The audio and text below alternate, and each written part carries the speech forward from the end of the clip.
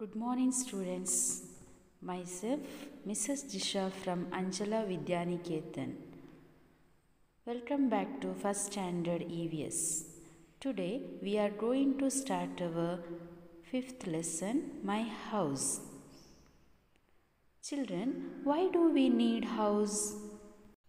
We need a house to protect us from the sun, the rain, the cold, and the wind.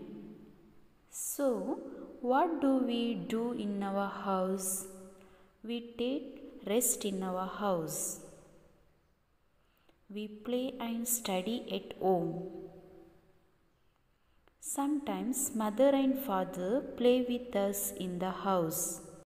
A house is also a place to store things like food, clothes,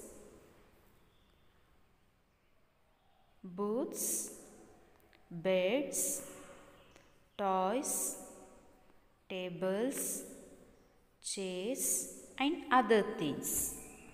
Now let us see the textbook, page number 38. This is Radha's house.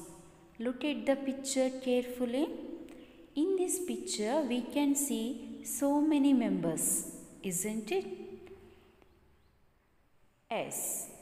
Name the members of Radha's house. Who are they? S. They are Radha's family members. Okay? S.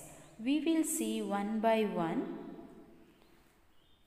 Radha's father, Radha's mother, grandfather, grandmother, brother, sister, and even one dog is there.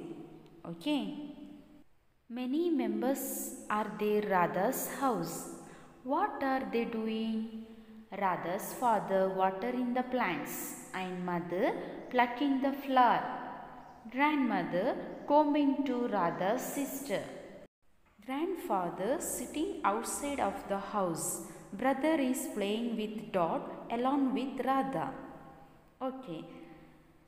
Even we have family members, isn't it?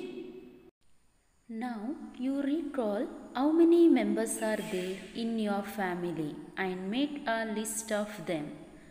I hope now you know more about my house. Thank you, children.